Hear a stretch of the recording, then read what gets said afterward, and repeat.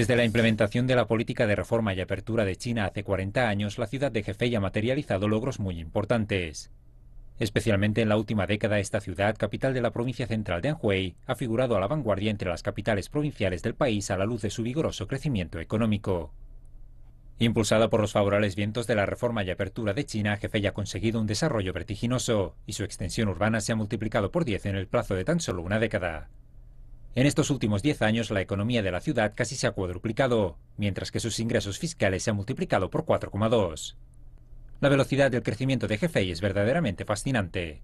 Los datos económicos de esta ciudad indican que los sectores industrial y de servicios constituyen su principal motor de crecimiento, puesto que ambos representan más del 85% de la economía de Hefei. En los últimos años, el fortalecimiento de las infraestructuras y su impulso económico han permitido que Hefei se convierta en el eje regional de la provincia de Anhui.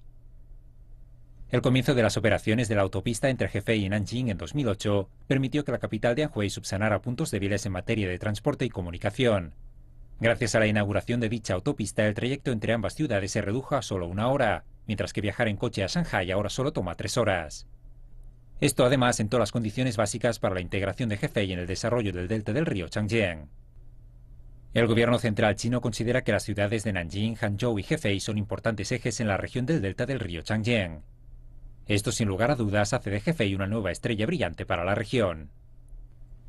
En nuestro programa de hoy entrevistamos en exclusiva al señor Chen Wei, director de investigación de la Administración de Ciencia y Tecnología de GFI, para que comparta con nosotros un análisis en profundidad sobre las razones por las que esta urbe ha materializado tantos logros en tan poco tiempo, así como los planes de innovación de futuro y los pasos que adoptará la ciudad a fin de conectarse al desarrollo integrado de la economía de la región del delta del río Changjiang.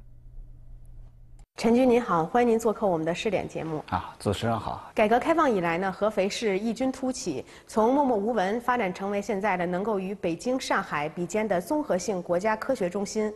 尤其是最近的黄金十年，合肥市的经济总量更是跻身全国省会城市前十强。首先，请陈局为我们简要介绍一下合肥是如何取得这样的成就的。合肥为什么会发展的这么快，对吧？特别是这个在创新这一块。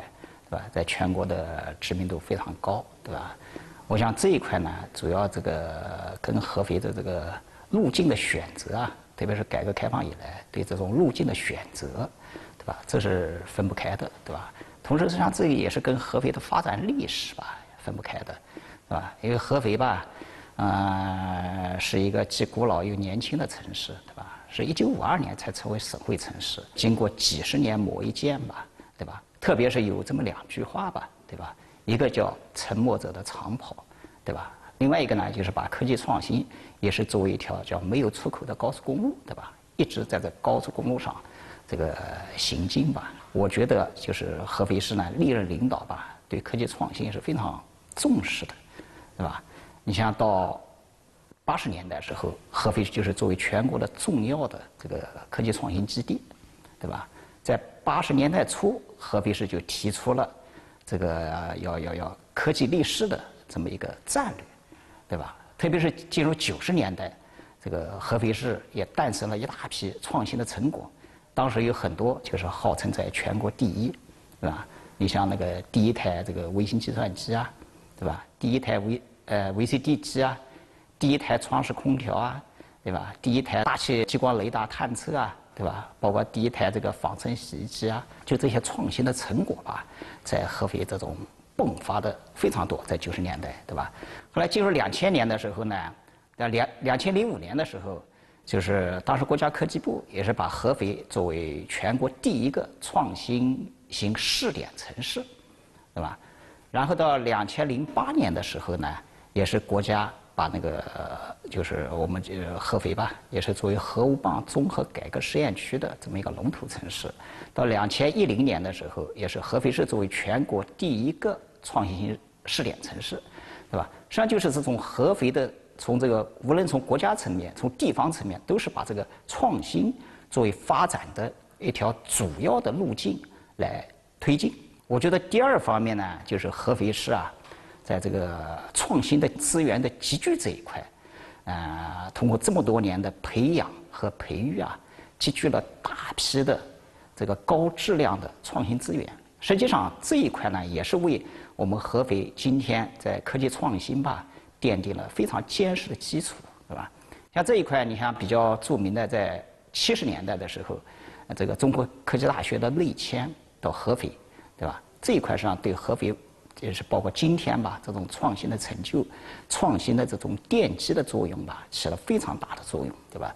包括八十年代这个中科院合肥这个分院的成立，是吧？包括八十年代的时候，有一大批当时三线军工企业和国家部署的一些科研院所迁居到合肥，对吧？这个奠定了合肥今天创新的非常重要的基础，对吧？你看，从创新资源这一块，合肥市现在有各类高校有五十六所，在校大学生有五十多万，对吧？这是很大一块，对吧？另外，合肥市有各类这种科研机构一千三百多所，其中呢，在省级以上的科研机构有七百多所，七百零六所，对吧？另外呢，还有一块呢，你像这个合肥的一些高端人才啊，对吧？像两院院士啊，对吧？在合肥工作的两院院士达到了一百零八人。有各类科技人员达到呃三十多万人，是吧？像这一大批，包括现在的这个这合肥的这个高新技术企业达到了一千六百六十六家，包括近年来就是我们就是建了一大批协同创新的这么一批叫新型研发机构，对吧？通过这些新型研发机构，就是我们像这个北大的、清华的，就是这国内的一批高端的这种高校资源啊、科研院所啊。是吧？在合肥，就是建了一大批这个研究院，这是非常重要的基础。第三个方面呢，从改革的方面，实际上就是要怎么样把这些创新资源啊，能够很好的激活起来，啊。实际上从这一块来说呢，就像我们从国家。这个给的各类试点市吧，对吧？创新型试点也好，这个创新城市也好，对吧？包括二零一六年这个合肥吧，安徽省吧，也是作为全面创新改革的一个试验试验区吧，对吧？这些这些改革的一个很重要的目的吧，就是怎么样把这些创新资源激活。创新资源的激活呢，可能就是两个方面，一个就是对人的激活，对吧？对这些科技人员的激活；第二个就是对这些。企业的创新能力的激活，是吧？特别是对这个人的激活这一块呢，你像我们这主要是体现在这种知识价值，在科技人员的这个收益获取上的体现，对吧？这块你像合肥市也出台了很多政策，对吧？就是让这些科技人员他的知识、他的成果能够实实在在的获取收益，对吧？激发他创造的这种活力。对吧？你像我们那个我们的政策里面，对吧？像科技人员，特别是高校科研院所里面吧，科技人员的他这个科技成果转化的收益，对吧？最高能达到百分之九十，对吧？这个比例是非常高的，对吧？这是一块。还有一块，你像我们中科大、合肥工业大学的，在科技成果的收益权、呃使用权和分配权，我们叫三权改革这一块吧，对吧？这一块呢，也是作为试点，对吧？这一块有个数字嘛？它这个三权改革里面，科技成果的收益大概两个多亿，在两个多亿里面呢，其中有一个多亿都是分配给这些科技人员和这些创新的团队，对吧？另外呢，还有一些就像在科技人员以无形资产入股的方式，就是股我们叫股权和分红激励这一块，对吧？你像我们有一些典型的案例，就是把一些高端的科技人员啊，这个引进来，然后他们是通过这个。就是科技成果无形资产入股的方式来获取收益。还有一块呢，你像就是我们在政府的政策里面，对吧？在像这个天使投资基金啊，对吧？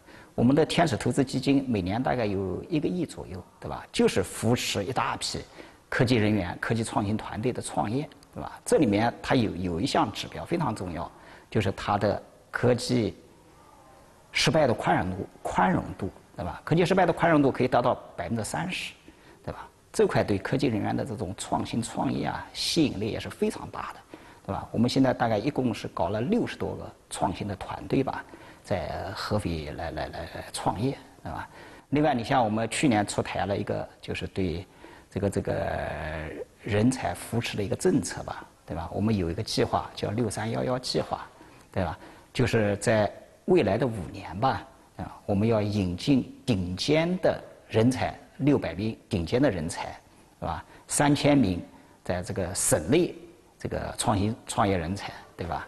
一万名这种科技创新的人才和十万名这种就是创业人才，对吧？有有有这么一个计划。同时，从政府的资金这一块呢，拿出二十个亿，专门来扶持这个人才计划的实施，啊，实际上这个就是对人才的激活，对创新资源的激活，应该来说起到了非常大的作用。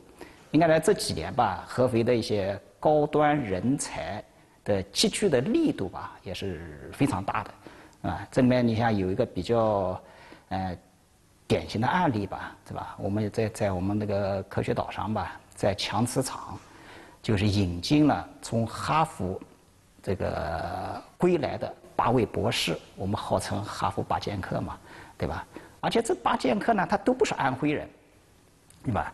在我们这个这个合肥这个这个强磁场就大科学中心里面创业啊，同时他们自己也创办了企业，而且创办的这个企业呢。也是得到了我们合肥市的这个人才政策，这个天使投资基金的这种大力的扶持，对吧？就是这种引进人才的力度，激发人才的活力，啊，这包括激发企业的创新的活力，这一块也是合肥这么多年在推进科技创新做的非常重要的一项措施。实际上，我们最终要让这些科技成果能够落地，对吧？能能够。在在我们讲一些颠覆性的技术啊，或者原创的技术啊，对吧？有影响力的技术啊，这包括一些卡脖子的技术啊，对吧？能够有所突破。我觉得合肥这几年吧，实际上在，啊，如果从原创的技术这个角度来说，对吧？有一些在全世界都是影响力很大的。合肥的创新产业应该讲这十年来吧，也是发展的非常快的。实际上，这这些创新的产业的快速发展，实际上跟合肥的这种创新的实力，对吧？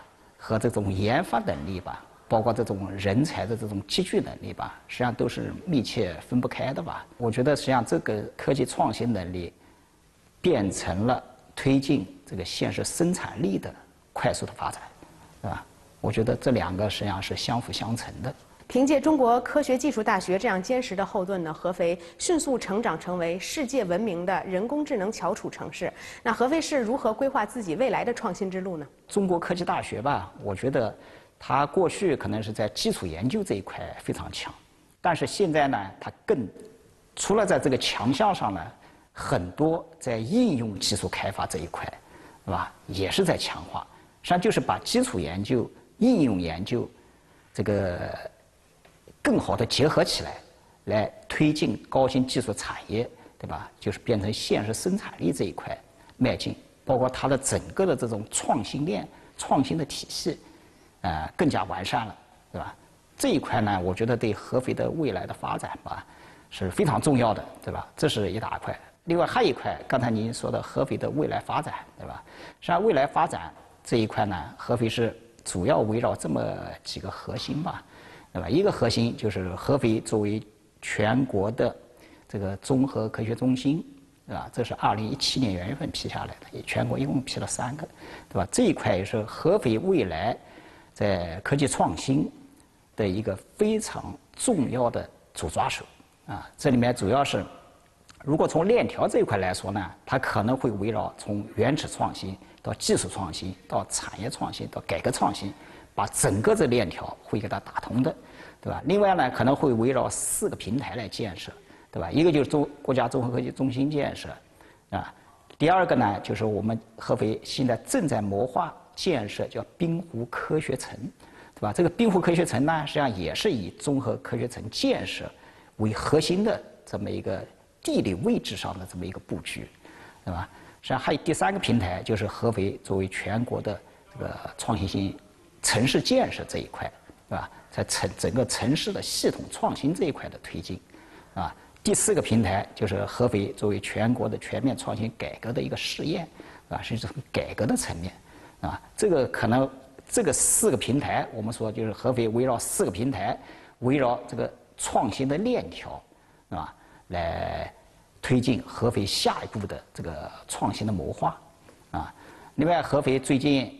也提出了一个对未来的合肥创新吧，提出了一个，就我们叫要打造合肥创新之都，这么一个长远的谋划，那我们现在从区域发展角度来讲，作为长三角城市副中心的合肥，又将如何凭借科技创新这张王牌，谋划区域合作的百年大计？从现在来说呢，实际上合肥市跟这种长三角的发展吧，关系非常密切，是吧？无论从这种呃资源的配置，对吧？资源配置，对吧？你像这个长三角的很多的人才，对吧？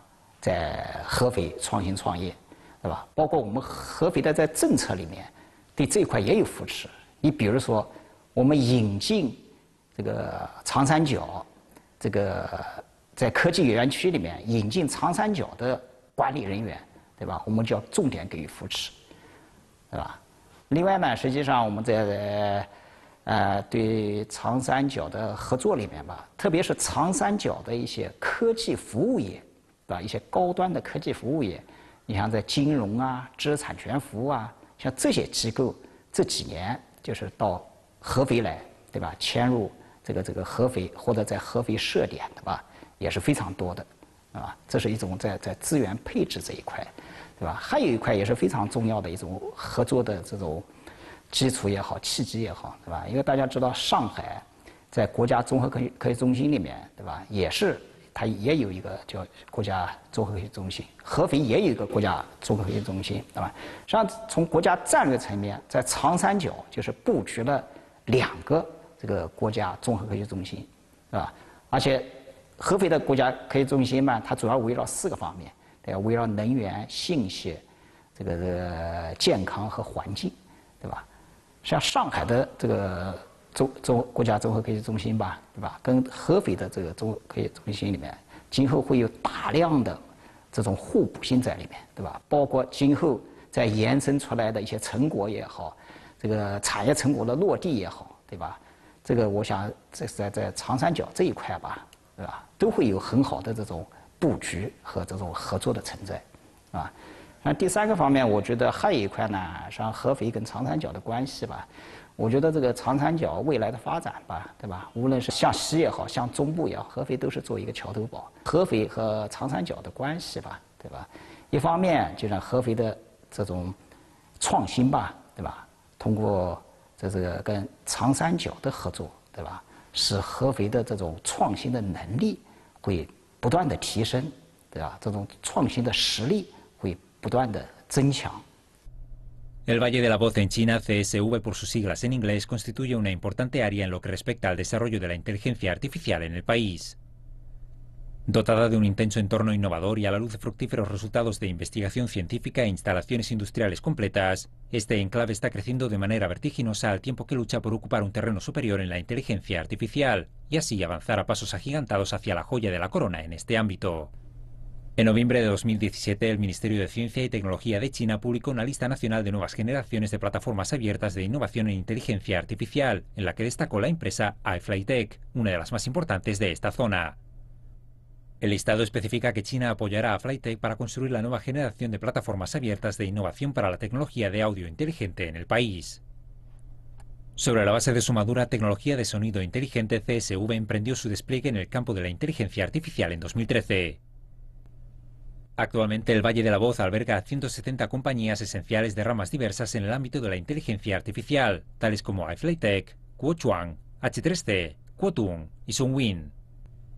De igual manera, con el apoyo de avanzadas instituciones científicas del país, entre ellas la Universidad de Ciencia y Tecnología de China, la Academia de Ciencias de China y el Laboratorio Nacional de Ingeniería en Tecnología y Aplicación de Inteligencia Cerebral, el único de su clase en la nación asiática, CSV ha logrado instalar una cadena industrial completa en materia de inteligencia artificial, que abarca desde la investigación básica y tecnológica hasta el desarrollo y la aplicación a escala industrial, pasando por las plataformas de apoyo. Es de esta manera que CSV se cierne como un terreno elevado de la innovación en las nuevas generaciones de plataformas de inteligencia artificial, impulsada por la tecnología relacionada con la voz. Para adentrarnos más en este tema, entrevistamos en exclusiva a la señora Mao Yunyan, presidenta adjunta de la Corporación de Inversiones en Industria Informática de la provincia china de Anhui. 毛总您好，欢迎您做客我们的试点节目。主持人好啊，我们知道，作为中国唯一一家定位于智能领域的国家级产业基地，中国深谷目前的发展状况如何？中国深谷是二零一三年由工信部和安徽省共同建设的一个重点合作项目。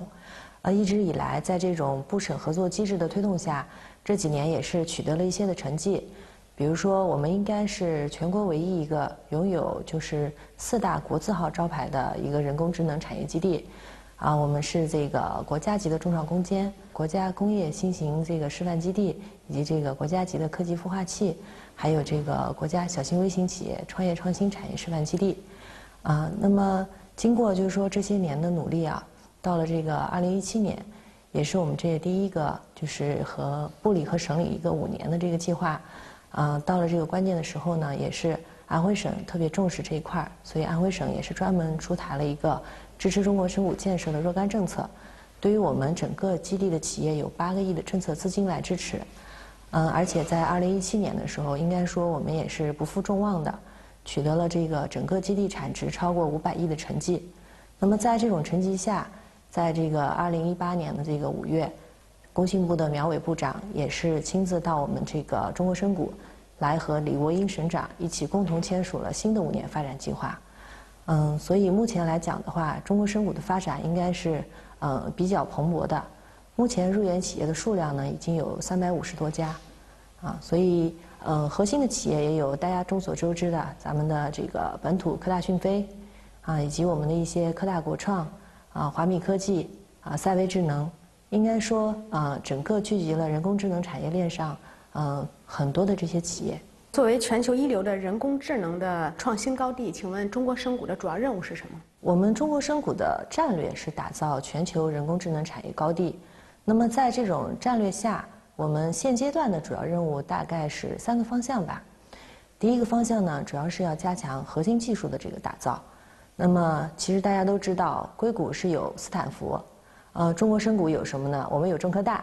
那么，在这个中科大的核心技术支持下，我们是希望能够把呃中国的 AI 技术领域，嗯，这些技术呢，能够争取能跟这个发达国家一较高下，甚至在部分领域能够超有领先的这个地位。嗯，其实就像大家都知道的，这个智能语音，呃，现在应该是在国际上是呃非常出名的，不仅仅是技术上，啊，所以也是。啊，希望通过这些呃，依托中科大，甚至合肥还有中科院，通过这些技术力量，来够打造这个核心技术。第二个呢，我们是想做产业集聚。一方面呢，大家都知道现在其实传统产业是在进行升级，我们希望能够帮助一些传统产业呢进行智能化的升级。另外一方面呢，啊，也是希望这个通过努力，能够把人工智能行业的一些啊先进的这个。技术一些这个企业都能够聚集到一起，嗯，习主席也说嘛，是要把这个人工智能和实体经济相融合，所以我们也是希望能够通过，呃，我们的努力来打造这个人工智能的全产业链。第三呢，我们还有一个任务呢，其实是想培育一些产业平台，嗯，中国深谷呢今年也是积极打造了一个，嗯，全国唯一一个叫综合服务体，在这个服综合服务体系下呢，我们打造了一些。金融创新平台、生产制造平台、技术服务平台，以及还有一些营销平台，希望企业能够通过我们的这些平台，更多的把这个 AI 技术进行一个呃科学科技技术转这个转化吧，能够更多的成果落地。那请问中国深谷它的呃产业空间是如何布局的？另外它有什么样的发展规划？我们的产业空间啊，嗯，是采取这种集聚发展的思路。立志打造一核多元，一核就是大家现在就大家所在我们这个中国深中国深谷的这个总部基地所在的合肥是一个核心区，依托这个中科大的这个核心技术，我们也是立志于打造这个中国的硅谷模式。嗯，多元呢，就是大家也都知道，我们是和这个安徽省工信部共同来合作打造，也就是说，在全省范围之内，我们会根据不同地域的。它的产业特色，打造不同的产业园区。像目前我们现在其实还有啊大数据产业基地，以及这个虚拟现实产业基地，还有这个物联网产业基地。所以会从多个维度、多方面去发展这个人工智能领域。那中国深谷从嗯一开始成立到现在取得过哪些成绩？您给我们简要的介绍一下。因为是一个人工智能产业基地嘛，应该说我们取得的成绩除了一些啊国字头的招牌以外。我想最大的成绩应该是做了这个呃产业聚集吧，因为呃，以前应该说大家都知道，这个北上广深是这个呃人才的聚集地，所以很多的包括行业内的知名的一些独角兽的企业呀，啊一些包括一些龙头的企业，大家都知道会集中在这个北上广深。其实上个月啊，赛迪也是发布了最新一期的报告，我们合肥其实在全国的人工智能上面，这个城市的排名已经排到第五了。那么。毫不夸张的讲，应该在这个上面，我们中国深谷贡献的力量是非常大的。而且今年呢，我们也是跟这个很多的国内的一些呃龙头企业来合作落地，啊，比如说是这个著名的 BIT 啊。其实，在人工智能领域，这个国家发布的四大平台里面，嗯，都说 BITK 嘛，应该说我们现在就是跟这四大这个公司都是有合作的。那您认为，在新时代的背景下，中国声谷的崛起需要多长时间？并且，啊，我们以后重点发展的领域都在哪里？崛起，它从这个中文的角度来讲，应该是相对高起、相对突起。所以，我觉得崛起它是一个相对的概念。刚才其实我们也聊了很多这个中国声谷发展的一个历史。我觉得应该说，相对来讲，在国内，中国深谷是已经崛起了。因为我们已经在国内具有了一定的知名度，咱们广义的来讲，在国际上，应该说我们和这个发达国家，在呃很多的技术上还是有一些差距的。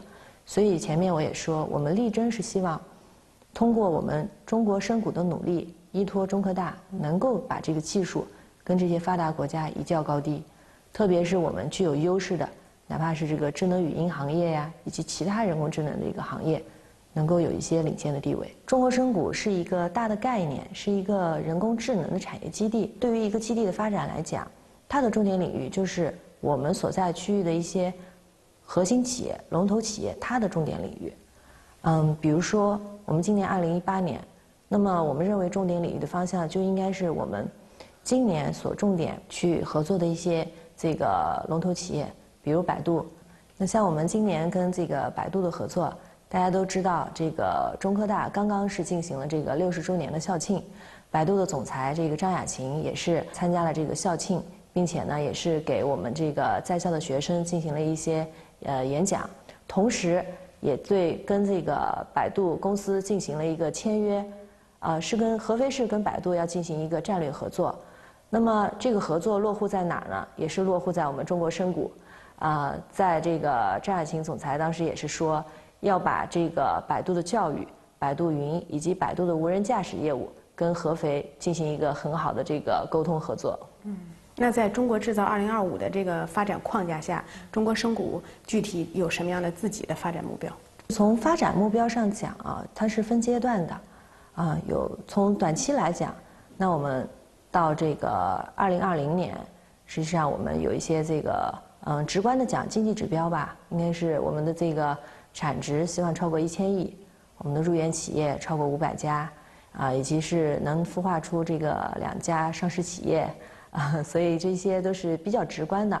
那么从长远来讲，到二零二五年呢，会有更多的这些现在所的所研究的以及所开始的这些成果，能够转化成，呃，可能真正的是深入到这个我们每个人的生活当中的产品。因为现在可能很多人对人工智能的这个理解，都还在呃，是不是这个家庭陪护机器人啊，还在这种这个阶段。当然，现在也有一些发展，呃，比如说智能家居啊，可能现在在装修的时候，更多的呃去选择的就不是传统的这个装修方案了。那么，怎么让这些一点一滴走到这个呃我们每个人的生活当中？那这可能就是我们的一个长远的目标。好，再一次感谢毛总接受我们的采访，也非常感谢您的精彩介绍，谢谢，谢谢主持人。